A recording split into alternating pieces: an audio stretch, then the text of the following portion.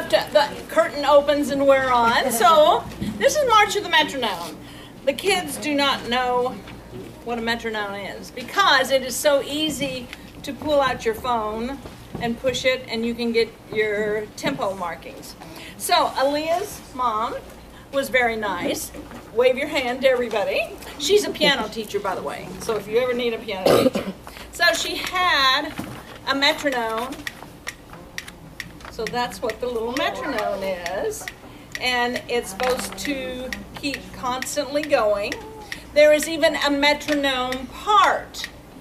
But it is written specially for this special person, and her name is Miss Metronome. Miss Metronome. Would you like to read? This is Mrs. Cher, and she is going to play the metronome part for us.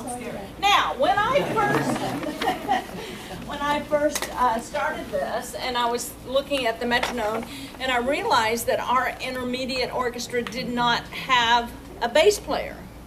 So the bass player is the one that plays the metronome through this whole thing. You'll see it's pizzicato in one place you bow or something like that. So anyway, we asked Aaron if he would come in and play because I had him when I was at uh, Scribner. Well, then Aaron said, "Well, my brother wants to play too." So Alex comes in and he plays cello. And then I realized, well, I know Christina has a little sister that's in the second violin section. So then we decided to ask, add Christina. Wave your hand, Christina. And then uh, Emily, you can wave, you wave your hand. She goes, well, I want to play too. So we put her in the first violin section. So I had Alex at Pine Views on, so we added him on viola. Wave your hand, Alex. And then Olivia says, well, if Alex is playing, then I want to play. And then they came in and said, well, can Christina play too? Uh, right, Chelsea? Can Chelsea? And I said, sure, might as well. So anyway, this is our intermediate orchestra, and we really started out looking for one bass player. so it has grown. And guys, and guys, so this is our intermediate orchestra with our special helpers.